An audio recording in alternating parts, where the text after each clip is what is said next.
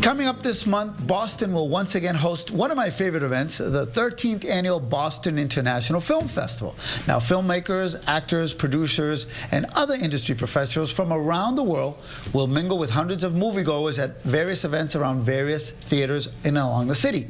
Now, this year's program includes, get this, 80 films from around 30 countries. Now, to tell us more, we've invited Boston International Film Festival founder Patrick Jerome, who, by the way, is a is a filmmaker himself, and also our good friend Naomi Kondo, who is the coordinator this year. So she really does the work, right? Yeah, yes, in a way, I would say. In a way. Okay, so let's off with this, Jerome. Um, I'm excited again. Uh, 13 years. 13 years. It's yep. been a long time. It's been a journey. Yes. Um, I mean, I remember when we started the festival 14 years ago. We had no idea that you know we would get to that point where we are today.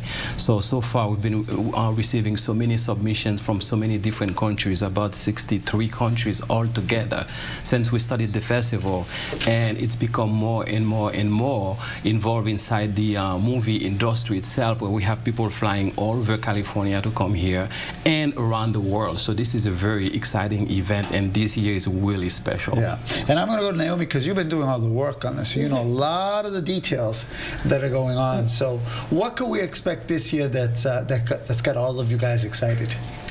Um, well, a couple different things. We have kind of a new um, we have a new venues. Um, our opening night is still going to be at the AMC Loews, where we'll have the gala or the opening night red carpet. That's at the Boston Commons, right? The Boston Common, yeah. But we're also going to be having um, filming uh, screenings at both uh, the Paramount and at our BPE studio.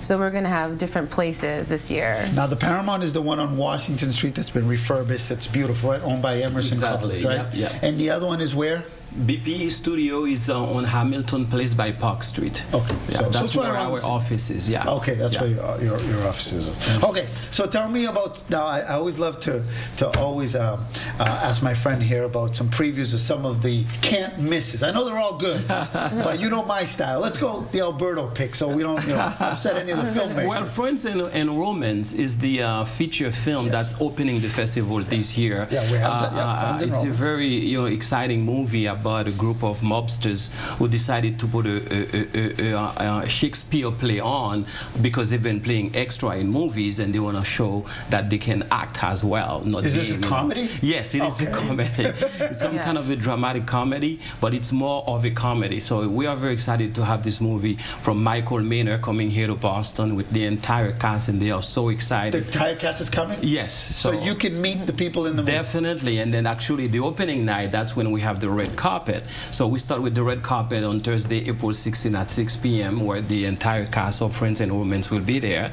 And uh, people will be able to take picture with them for about an hour, and then we go inside the theater, have the presentation of the movie, and then after that we have the uh, uh, gala party. This is a very amazing film, and we have so many other movies that are highlights at the festival. We have a movie that came from Haiti, uh, La Belle Vie, uh, that is very inspirational, and we have movies coming from Africa, uh, a small thing. We have uh, uh, Love Thy Nature uh, that was filming in Brazil, in Hawaii as well, and so many other countries. I mean, to give you a highlight, it's very hard for me because we watch so all those movies, and they, all of them have something special and unique about it. So we are looking forward to really a great film festival. Now, Naomi, how can I mean, let's say someone we've piqued their interest is watching the show. How can someone get a first? How could they attend?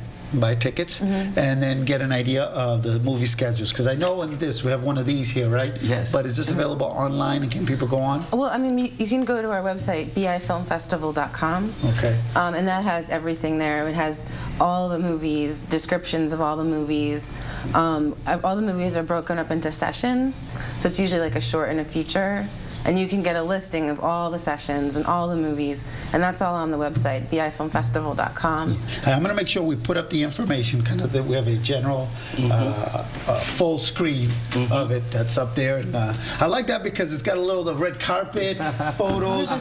Um, obviously, Thursday, April 16th, Boston mm -hmm. Commons. You got the participating venues, yeah. but just as importantly is the www BIFilmFestival.com. There it is. That's what I wanted to make Yeah. sure people can see. So, and, and pe- people can buy tickets for all or some or passes. Uh, actually, we have passes. We have all access VIP passes where that would be can mine. buy a pass. That would be mine. Yours Sure. is ready for you. Okay. Uh, to attend all the festivities, uh, seminar, uh, film, I mean parties, and all of that. And uh, also we have the screening pass, which is for all the movies only. And then the, the individual session people can buy to, to attend the screenings. Patrick, how does someone, because I'm sure, I'm sure someone will watch this with whether live or then online, um, filmmakers who may want to submit. What is the process of submitting a film uh, to your festival? Um, well, we've been uh, uh, accepting submissions for about six months now. Um, the six And I'm months talking about for started next year, obviously yes, not for this year. Yes, we started receive submission from August all the way until February. So we watch movies for six months, and and uh, Naomi is very fa- familiar with the selection process. You want to say Yeah. something about So it? someone's Sorry, watching the show. about the Someone's Yeah. watching the show, and uh, they'd love for next year. Maybe they'll probably attend this year, um, get inspired, and either finish or finally start that project. But how do you go about that?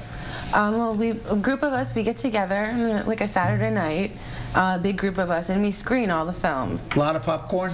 Uh, yeah, well, we have we have snacks. We often have snacks, and uh, we have a thing where we have a, a cup and a pencil with a feather. And when we feel like we're ready for the next movie, we just knock over the the cup. Oh, you have a little system going. We do.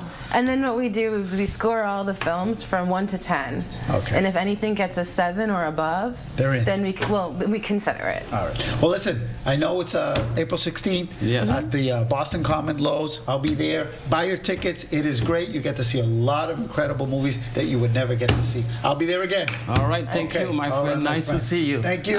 all right, that's it for this edition of Urban Update. Well, thanks for watching every Sunday from all of us here at Urban Update. Have a tremendous Sunday, everyone.